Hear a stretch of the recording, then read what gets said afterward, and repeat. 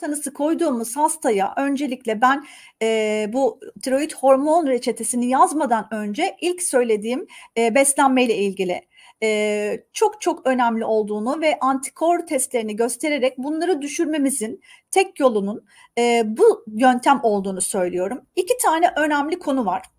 Hashimoto hastaları için e, glutensiz beslenme ve süt ve ürünlerini mümkünse hayatından çıkarma konusunda. Çünkü neden e, bunları yapmak zorundayız ve bunları yaptığımız hastalarda gerçekten de bu antikor testlerinin oldukça hızlı bir şekilde düştüğünü ve sıfırlandığını yani normal seviyeye indiğini biz hastalarımızda görüyoruz. Gluten ve süt ürünleri yani süt ürünlerinin içinde kazein dediğimiz bir madde var. Gluten ve kazein vücutta inflamasyon oluşturan iki madde. İnflamasyon zaten bağışıklık sisteminin e, ateşini yıka, yakan e, ilk kıvılcım. Dolayısıyla bağışıklık sistemi inflamasyon Latince anlamıyla flame yani ateşe vermek demek. Yani burada aslında Türkçe, inflamasyonun Türkçesini yangı olarak kullanırız biz tıp dilinde. Ama yangı çok fazla halk arasında kullanılmıyor. İnflamasyonu da iltihap olarak çeviriyoruz ama iltihap deyince bu sefer aklımıza ya da hastalarımızın aklına böyle hani irinli, akıntılı ya da ne bileyim bir böyle burun akıntısı, öksürük vesaire gibi bir şeyler düşünülüyor. Halbuki bu e, sadece akut iltihapta kullanılan bir şey. Kronik iltihaplarda, kronik enflamasyonlarda daha uzun süreli yani etkenin yavaş yavaş vücudumuzu etkilemesi, bozmasıyla daha e, uzun süreli oluşan bir e, yangı durumu. Dolayısıyla bunu başlatan e, problemleri, sorunları önceden ortadan kaldırırsak diye biraz önce söylemiştim. Bunun başında da zaten beslenmeyle ilgili kazeini ve gluteni kesmek gerekiyor. Kazein ve gluteni kesmek çok da kolay bir şey değil. Yani böyle söyleyince hemen olmuyor haliyle. Çünkü gluten her şeyin içinde var. Tamam ekmek, unlu gıdalar vesaire var ama ufak ufak her şeyin içinde gluten var. Çünkü biz modern bir toplumda yaşıyoruz. Büyük şehir insanları olarak da çok fazla hazır gıda, paketli ürün tüketiyoruz ve bunların hepsinin içinde glutensiz diye aldığınız şeylerin içinde böyle öyle küçücük bir yazıyla altında az miktarda gluten içerebilir diye yazıyor. Ya da o reklamlarda gördüğünüz hani hızlıca geçen yazılar vardır altında. Onun içinde mutlaka öyle bir uyarı vardır. Uyarı yapmak zorunda oldukları için. Gluteni kesmek e, konusunda çok zorlandığını biliyorum hastalarımın ama onlara şunu söylüyorum. Tamamen kesemeseniz bile yani bu çünkü bazı şeylerin de içinde bilmiyoruz. Çünkü bize söylenen kadar içerik biliyoruz bize verilen gıdaların içinde. Her şeyi de evde kendimiz yapmamız mümkün değil. Dolayısıyla çok bariz içinde gluten olduğunu bildiğimiz şeyleri tüketmemeye çalışırsak o bile bize yeter. Yani maruz kaldığımız dozajı bile indirirsek aslında o bizim artı hanemize yazılıyor. Yani çok fazla ekmek tüketen birisi için ekmeği kesmek ya da azaltmak unlu gıdalar üzerinden bir beslenme rejimi uygulayan birisi varsa bunu farklı bir yola çevirmek aslında bize çok büyük bir artı katıyor tedavi aşamasında. Ee, Bununla ilgili olarak da biraz tabii ki efor sarf etmek lazım. Yani bu ilaç almak kadar kolay bir mesele değil. Çoğu zaman hastalar hep bir hani bir ilaç alalım, işin içinden çıkalım e, kolaycılığına gitmek istiyorlar ama hepimiz gibi. E, ama bu bu sadece orada yaşadığınız semptomları düzeltecek ve sadece ilaca bağlı. İlacı al bıraktığınız zaman e, tekrar aynı şikayetleri yaşayacaksınız. Çünkü alttan e, o yangı devam ediyor. O yangını söndürmek için e, bunu düzeltmek lazım. E, beslenme konusunda en önemli söylediğim şey bu ikisi. E, mutlaka gluteni keselim, süt ve süt ürünlerini keselim. Süt ve süt ürünleri konusunda da bazen çok fazla peynir e, bağımlısı insanlarla karşılaşabiliyoruz. E, dolayısıyla da onlarla ilgili olarak da sütü e, değil ama peyniri kesemem doktor hanım diye böyle ağlamaklı bana söylediklerinde en azından şöyle bir alternatif sunuyorum onlara. E, inek sütü kullanmayalım en azından. İnek sütü ürünlerini kullanmayalım. Keçi sütü birazcık daha anne sütüne yakın özellikler taşıyan bir süttür. Alerjen oranı daha azdır. E, eğer e, hemen kesemiyorsak ve en azından keçi sütüne yönlenebiliriz diye e, böyle bir e, hafif alternatiflerle o geçişi yaşayabiliyoruz. E, en önemli iki konu bu. Üçüncüsü e, dengeli beslenmek. Dengeli beslenmek konusunda da bazı vitaminleri, mineralleri, proteinleri e, düzenli ve dengeli olarak tüketmek lazım. Çünkü tiroid hormon sentezi için bizim bunlara ihtiyacımız var. proteine ihtiyacımız var. İyoda ihtiyacımız var.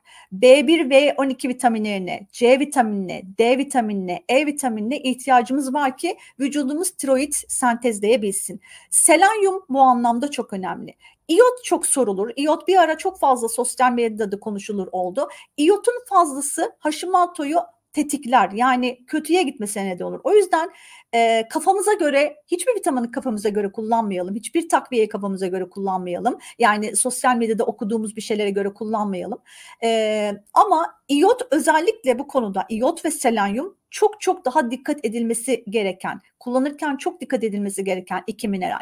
E, birbiriyle dengeli olarak e, bulunması gereken iki mineral. Birisinin fazlası bazen olayı kötüye sokabiliyor ve çok dar aralıklarda normal seviyeleri var. O yüzden e, ben de tiroid var, iot kullanayım, selanyum kullanayım. Şimdi hatta bazı tabletler, bazı preparatlar da çıktı iotla selanyumu birlikte içeren.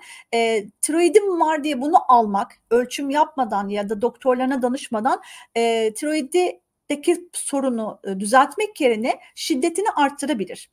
Ee, öncelikle her zaman şunu söylüyorum. Eğer emilim bozukluğunuz yoksa, mideniz bağırsağınız gayet güzel çalışıyorsa her zaman öncelikle dengeli beslenmek. Beslenirken bunları gıdalardan almak her zaman çok daha iyi.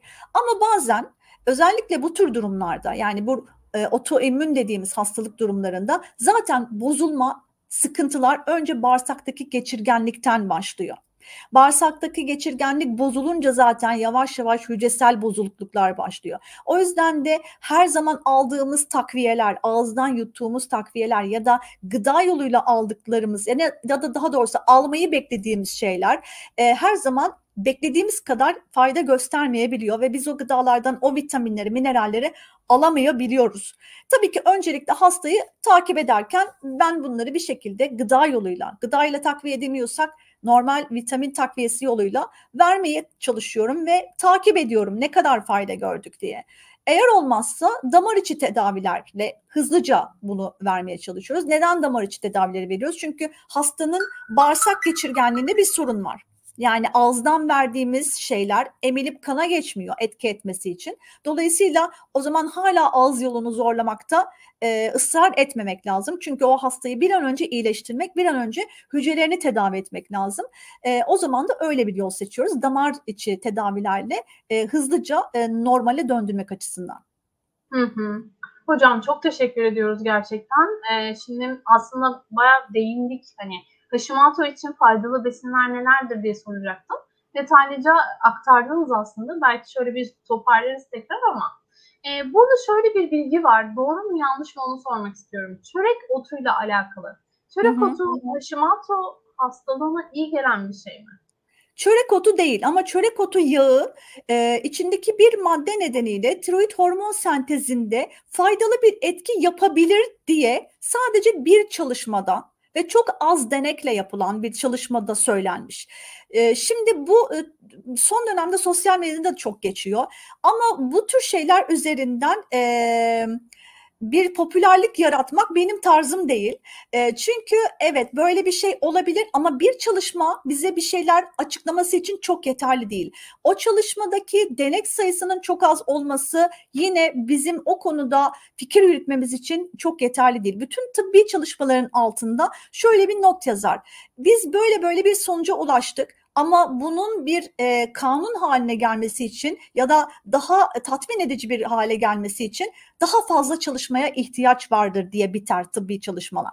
Dolayısıyla bu e, bir tane çalışmada ulaşılmış böyle bir bilgiye. Tabii ki ilerleyen zamanlarda konuyla ilgili farklı çalışmalar yapılırsa, daha çok kişi üstünde bu denenirse e, o zaman daha belki kesin bir e, bilgi söyleyebiliriz. Ama e, fitoterapist e, arkadaşlardan da edindiğim bilgiye göre çörek otunun içinde evet tiroid hormon sentezi içinde faydalı olan bir madde var. Ama zaten bütün besinler e, aslında birer ilaç. Yani yediğimiz her şey sebze, meyve ama aynı zamanda birer ilaç. Çünkü hepsinin içinde bir vitamin var, bir mineral var e, ya da bir antioksidan var ve bunları kullandığımız kadar aslında nasıl kullandığımız ve ne dozda kullandığımız önemli. Hiçbir şeyin fazlası iyi bir şey değil. Antioksidan alsanız bile. Hiçbir şeyi bol bol tüket diye bir kural yok. Hatta bazı şeyler için bol bol tüketmek belki ondan daha az tükettiğiniz zaman alacağınız faydadan e, faydayı geçip zarara dönüşüyor. Eskilerin bir lafı vardır. Azı karar, çoğu zarar diye. Ee, bazı e, eski lafların gerçekten altta yatan daha derin bir anlamı var. Dolayısıyla ben buna inanıyorum ve bazı durumlarda da şunu söylemekten de kaçınıyorum aslında. Çünkü millet olarak bu yani böyle bir e, uygulama yapmaya daha çok eğilimliyiz. Bir şey çıkıyor mesela işte çörek otu yağı diyelim. Çörek otu Hashimoto'ya iyi geliyor dendiğinde bütün hastalar e, ilaçlarını bırakıp tıbbi tedavilerini bırakıp tıbbi kontrollerini takiplerini bırakıp çörek otu almaya başlıyorlar. Böyle bir e, sektör oluşuyor. Önüne gelen çörek otu e, yağı, çörek otu diye satmaya başlıyor. Fakat dediğim gibi bu tür şeyler aslında biraz birer ilaç. Çörek otu yağının nasıl kullanılacağı da önemli. Çörek otu, çörek otu yağı, çörek otu bitkisinin tohumunun soğuk sıkımıyla kullanılması lazım ve onun e, daha küçük e, mililitrelerde, şişelerde ve kapalı olarak saklanması lazım. Çünkü onun içinde bir etken madde var ve onu belirli bir dozda, belirli bir e, sağlıklı koşulda hazırlandıysa ondan almanız lazım. Şimdi herhangi bir çörek otunu aldık kahve değirmeninde öğüttük evde. Ondan yani besinsel olarak tat vesaire olarak tabii ki fayda görebilirsiniz. Yemekleriniz içine katabilirsiniz ama burada söyleyeceğimiz faydayı o şekilde alamayabiliriz. Ve dolayısıyla çörek otundan faydalanacağım diye tiroid ilacını bırakmak ya da ne bileyim e, beslenmesindeki o gluteni kesme, kazeini kesme, selenyum, çinko kullanma gibi e, o maddeleri bırakmak e, çok doğru gelmiyor. E, böyle bir şey telaffuz ettiğimizde de e, özellikle hastaya sanki bunun alternatifi bu gibi algılanıyor bazen. O yüzden çörek otu tabii ki faydalı bir besindir. Ama nerede kullanacağımıza ve nasıl kullanacağımıza bağlı olarak durum değişebilir.